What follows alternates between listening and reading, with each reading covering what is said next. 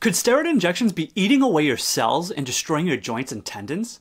Research has shown that this quick fix to pain may actually negatively impact long term outcomes, which should put into question how frequently this treatment is provided to patients. Whether or not to get a steroid injection is a very common topic when dealing with arthritis or tendon pain.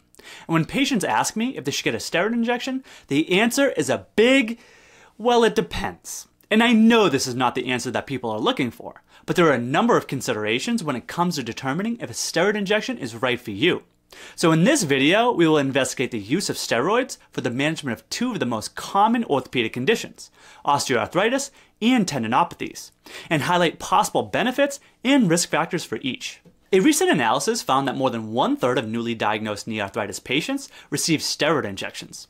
Considering the vast number of people dealing with arthritis, that's hundreds of thousands of injections being performed yearly. But what does the evidence say about the impact of this common treatment? Well, the evidence shows that steroid injections can give people significant relief. I don't think that's a surprise to anybody, but the evidence suggests that it's mostly a short term solution. You might experience some relief for a few weeks to a couple of months after, which is great. However, when it comes to long term benefits, like reducing pain or improving function, there's just not enough evidence to support it. Now, that's not to knock the short term relief that people can have with this treatment. It can be quite helpful in taking the edge off so you can tackle rehabilitation more effectively. They're generally safe and carry low risk factors in the short term, which is definitely a good thing. However, studies have shown that steroids can be harmful to surrounding bone and cartilage. This raises concerns about what might happen to your joints over time. Recent studies are showing that patients who received steroid injections showed clear signs of progressive osteoarthritis two years later, compared to those who did not receive injections. Imaging tests reveal notable joint and bone loss, as well as insufficiency fractures caused by poor bone quality. What's notable is that most of these events occurred in individuals with moderate to severe knee or hip arthritis, suggesting that the quality of the tissue plays a factor when considering risk with steroid injections. So it's a bit of a double edged sword. On one hand, steroid injections can offer short term pain relief and make it easier for you to engage in exercise. But on the other hand, there's a potential for risk of long term effects on your joint health. We need to keep in mind that many of these recent studies on steroid injections are small, so we should take the findings with a grain of salt and remember that each person's situation is different. It would be great to see more high quality research in the future to really understand the full picture. But what is interesting is that these independent studies, conducted separately from one another, all seem to be pointing in the same direction.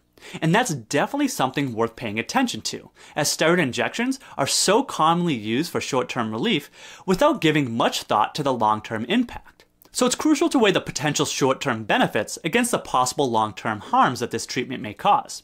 In those with milder cases of arthritis, or those without any indication of advanced cartilage or bone damage, the injection may be just what you need to get over the hump. While in those with advanced cases, you may want to hold off due to the risk of speeding up joint damage. Now, if you want a long term solution in effectively managing arthritis pain and improving function, evidence strongly suggests an active rehab approach involving exercise. It's all about staying active, keeping those joints mobile, and strengthening the muscles around the joints. But the thing is, I see many patients opting for these injections as a quick fix to alleviate the pain, but then completely skip out on the active management part. And what ends up happening is that they find themselves going back for injections every few months just to keep the pain at bay. Over time, the problem worsens and it eventually leads to the need for joint replacement surgery. So, despite clear short term benefits of steroid injections, it's important to not rely solely on this treatment. Instead, think of it as a bridge to get over the barrier of pain, to allow for a more active exercise approach, which has been proven to positively impact long term outcomes. A common issue in our healthcare system is the lack of quality patient education. Doctors are so busy that it is tough for them to answer all of the patient's questions about treatments like injections. Our goal at PhysioShow is to increase access to answers to these common questions so people can make the most informed decisions about their body. So if you're enjoying this episode of PhysioShow, we would really appreciate if you would like this video to help it spread to more people. Tendinopathy is a painful condition that affects tendons. These tough tissues transmit the contractile forces of our muscles to bones, which is how we move. And when they are not functioning properly, it can be a real pain and significantly impact function. Now, when it comes to treating tendinopathy, steroids have been the go to option for a long time. But here's the thing there's a bit of a controversy surrounding their usefulness for this condition. Steroid injections are often used to manage common tendinopathies like rotator cuff, patella, glute, and Achilles issues. And just like arthritis, there's evidence to suggest that these injections can provide some excellent pain relief in the short term. We're talking about improvements that people can actually feel within days to weeks after getting the injection, which can be pretty significant. But despite the high quality evidence that steroid injections are effective for short term pain relief, there is no evidence that they provide any benefit in the long term. This is especially true for those with chronic or long standing tendon pain.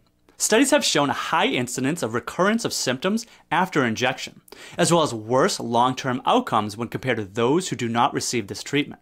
This is likely associated with the effect that steroid injections have on the health of the tendon. It turns out that these injections can actually have some pretty nasty effects on the cells within our tendons. They reduce cell viability, meaning the cells become less healthy and robust. Not only that, but they also hinder cell proliferation, which means the tendons have a harder time regenerating and repairing themselves. These injections also mess with the organization of the tendon, causing them to be jumbled up and disorganized, which severely impacts tendon strength. Weaker tendons means that there is more stress on the tissue when we move, and that extra stress can eventually lead to full blown tears. While the risk of steroid injections is likely not a big deal in those with inflamed but otherwise healthy tendons, those with chronic tendinopathy with poor tissue quality might want to think twice before going for these injections, or risk further degenerating an already compromised tendon. But no matter what, an active exercise approach is the true fix for tendinopathies, because tendons need to be exceptionally strong to transmit forces from our muscles to our bones and move our bodies. And no matter what, if you get an injection or not, strengthening these tendons is essential in restoring their function. Otherwise, you'll likely find yourself no better a couple weeks later and find yourself back in the doctor's office for another shot. To recap, steroid injections can offer some much needed pain relief in the short term for arthritis and tendinopathies. But it's crucial to understand that they are not a cure all solution and shouldn't be the only treatment you rely on. You need to take an active approach and engage in exercises that promote mobility and strengthen the affected joints or tendons.